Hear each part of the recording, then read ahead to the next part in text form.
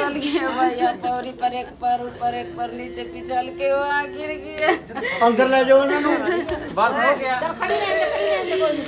पिछल गया गिर गया बाप रे अंदर ले जाओ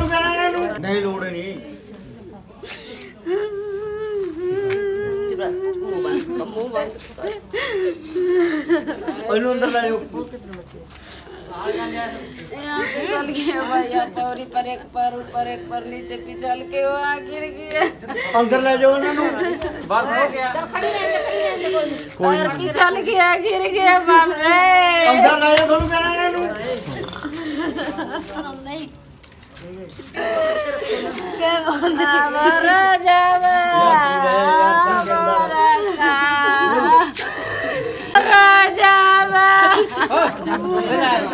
अंदर ले जाएंगे ਇੱਕ ਮਿੰਟ ਵੀਰੇ बस हो गया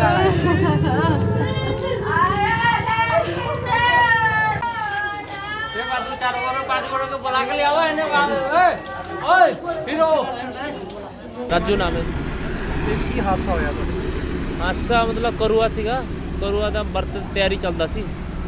ਤੇ ਛੱਤ ਤੇ ਗਿਆ ਸੀ ਮਤਲਬ ਚੰਦ ਦੇਖਣ ਨੂੰ। ਤੇ ਪੈਰ ਫਿਸਲ ਗਿਆ ਨੀਚੇ ਗਿਰ ਗਿਆ। ਤੇ ਅਹ, ਕਿੰਨੀ ਕੁ ਉਮਰ ਸੀ ਇਹਨਾਂ ਦੀ? 42 ਸਾਲ ਦਾ ਉਮਰ 42 43 ਸਾਲ ਦਾ ਇੰਨਾ ਕੁ ਹੋਊਗਾ। ਕੀ ਨਾਮ ਕੀ ਸੀ? ਲਖਿੰਦਰ ਰਾਮ।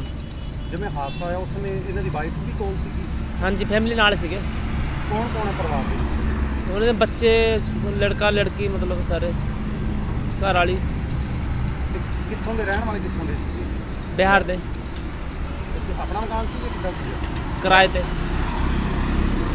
ਕੀ ਕਹਿ ਰਹੇ ਕਿ ਕਰਵੇ ਦਾ ਜਿਹੜਾ ਮਾਹੌਲ ਸੀਗਾ ਇੱਕ ਤਰ੍ਹਾਂ ਨਾਲ ਗਮੀ 'ਚ ਬਦਲ ਗਿਆ। ਉਹੀ ਤਾਂ ਗੱਲ ਹੈ ਮਤਲਬ ਖੁਸ਼ੀ ਦਾ ਗਮ ਤੇ ਬਦਲ ਗਿਆ। ਤੇ ਡੈਥ ਉੱਥੇ ਉੱਥੇ ਹੀ ਗਈ ਸੀਗੀ ਜਾਂ ਇੱਥੇ ਹਸਪਤਾਲ ਹਸਪੀਟਲ ਸਾਨੂੰ ਤਾਂ ਪਤਾ ਨਹੀਂ ਸੀ ਅਸੀਂ ਲੈ ਕੇ ਜੋ ਡਾਕਟਰ ਨੇ ਮਤਲਬ ਬਹੁਤ ਕੋਸ਼ਿਸ਼ ਕੀਤਾ ਫਿਰ ਕਹਿੰਦਾ ਮਤਲਬ ਡੈਡ ਹੋ ਗਿਆ।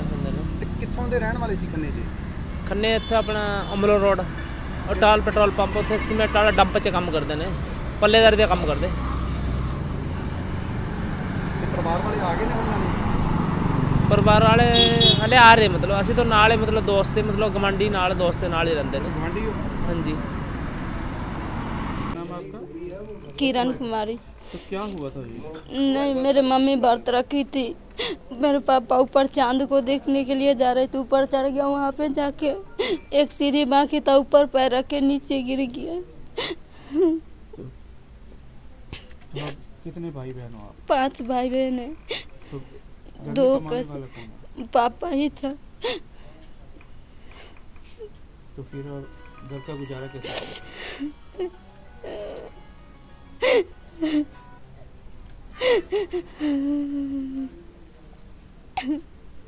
ਮੇਰਾ ਪਾਪਾ ਨਹੀਂ ਹੈ ਨਹੀਂ ਹੈ। ਕੀ ਮੈਟਰ ਹੈ ਜਿਹੜੀ ਡੈਥ ਹੋਈ ਹੈ ਇਹ ਜੀ ਇੱਥੇ ਕਿਰਾਏ ਤੇ ਰਹਿੰਦੇ ਨੇ। ਇਸ ਜਗ੍ਹਾ ਰੈਂਟ ਤੇ ਹੁਣੇ ਆਏ ਸੀ ਥੋੜਾ ਡੇਢ ਦੋ ਮਹੀਨੇ ਹੋਏ ਨੇ ਇਹਨਾਂ ਨੂੰ ਆਏ ਨੂੰ। ਪ੍ਰਵਾਸੀ ਬੰਦੇ ਨੇ ਇਹ।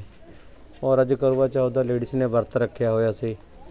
ਔਰ ਉਹ ਕੋਠੇ ਤੇ ਚੜੀ ਲੇਡੀਜ਼ ਕਿਤੇ ਬਾਅਦ ਚੋਂ ਇਹ ਵੀ ਹਸਬੰਡ ਇਹਨਾਂ ਦੇ ਕੋਠੇ ਚੜਨ ਲੱਗੇ। ਆ ਪੌੜੀ ਸੀ ਜਿਹੜੀ ਇੱਥੇ ਆ ਰੱਖੀ ਹੋਈ ਹੈ ਪੌੜੀ, ਆ ਲੱਕੜ ਦੀ ਪੌੜੀ ਸੀ। ਇਹ ਕਿਤੇ ਨਾ ਨਾ ਜਿਵੇਂ ਸਿੱਧੀ ਲੱਗੀ ਹੁੰਦੀ ਆ, ਉਹ ਸਿੱਧੀ ਲੱਗਣ ਕਰਕੇ ਜਿਵੇਂ ਚੜਿਆ ਸਿੱਧੇ ਨੂੰ ਉੱਪਰੋਂ ਬੈਲੈਂਸ ਖਰਾਬ ਹੋ ਗਿਆ। ਉਹ ਬੈਲੈਂਸ ਖਰਾਬ ਹੋ ਗਿਆ ਕਿ ਐਂ ਬੈਕ ਨੂੰ ਸਿੱਧਾ ਡਿੱਗਿਆ। ਉਹਦੇ ਸੱਟਾਂ ਸੁੱਟਾਂ ਵੱਜੀਆਂ, ਜਾਨੂੰ ਇਹ ਹਸਪੀਟਲ ਵਿਚਾਰੇ ਚੀਕਾਂ ਚੱਕਾਂ ਪੈਣ ਲੱਗੀਆਂ। ਫਿਰ ਪਰਿਵਾਰ ਨਿਕਲ ਜਾਨੂੰ ਇਹ ਹਸਪੀਟਲ ਦਾਖਲ ਕਰਵਾਇਆ। ਔਨ ਦੀ ਸਪੋਟ ਹੁਣ ਉੱਥੋਂ ਪਤਾ ਲੱਗੇ ਵੀ ਉਹਦੀ, ਬੰਦੇ ਦੀ ਡੈਥ ਹੋ ਚੁੱਕੀ ਹੈ। ਬਹੁਤ ਮਾੜੀ ਘਟਨਾ ਹੈ, ਕਿਉਂਕਿ ਅੱਜ ਪਰਿਵਾਰ ਨੂੰ ਇੱਕ ਤਿਉਹਾਰ ਦੇ ਤੌਰ ਤੇ ਮਨਾਇਆ ਜਾਂਦਾ ਜਿਹੜਾ ਕਰਵਾ ਚੌਥ ਦਾ ਲੇਕਿਨ ਇਹ ਘਟਨਾ ਬੜੀ ਮਾੜੀ ਘਟਨਾ ਹੈ। ਪਰਿਵਾਰ ਕਿੰਨੀ ਕੁ ਉਮਰ ਸੀ ਉਹਨਾਂ ਦੀ? ਇਹ ਤਕਰੀਬਨ ਹੋਊਗਾ ਜੀ 40 35 ਦੇ ਵਿੱਚ ਵਿੱਚ 35 ਚ 46 ਸਾਲ ਸੀ 46 ਕੁ ਸਾਲ ਦੀ। ਮੈਂ ਤਾਂ ਬਾਈ ਫੇਸ ਜੇ ਬੱਚੇ?